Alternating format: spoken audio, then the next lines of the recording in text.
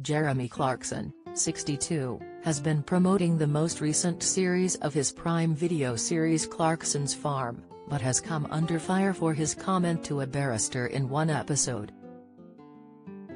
The former Top Gear host has now responded to the criticism, admitting that if he knew of the barrister's dyslexia the exchange would not have been televised.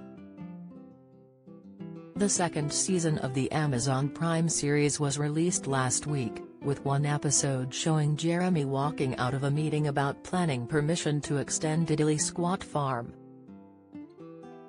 On his way out, the host was heard telling the barrister Charles Streeten to learn to spell. After the installment was released, the latter shared an open letter in which he spoke about his dyslexia and explained how it had impacted his career. He also added that he did not expect Jeremy's remark to be televised. In a statement shared with The Times, Jeremy responded, It's great that Mr. Streeten has overcome his dyslexia to such an extent that he's able to send such a well-spelt letter from Jamaica.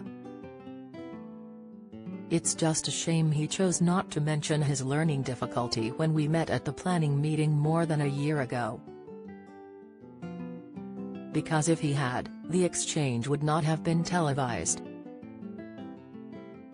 This is not the first time Jeremy has come under fire for his comments, with the presenter receiving widespread backlash for his remarks against Meghan Markle.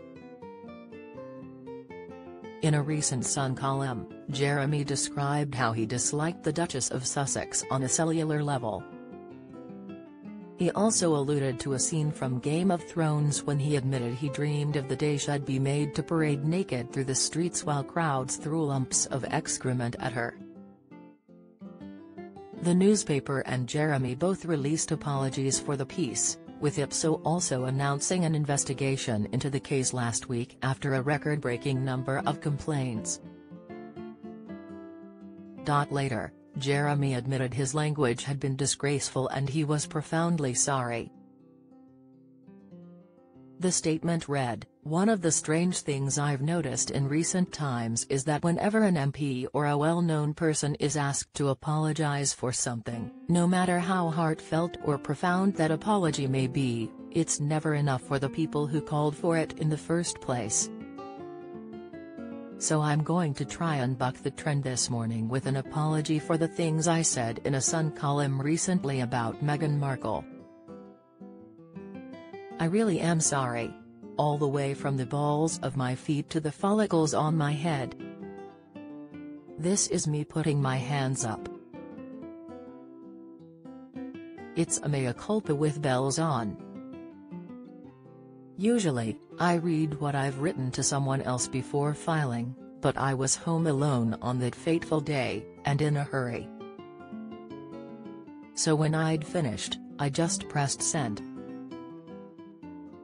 And then, when the column appeared the next day, the landmine exploded. Prince Harry responded to the comments against his wife, as well as discussing accountability.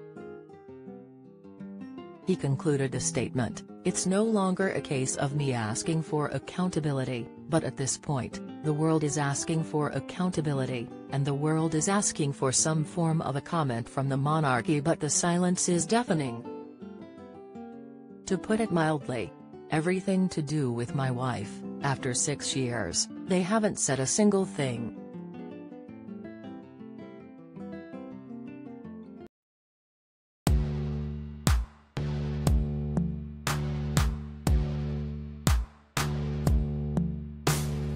Good.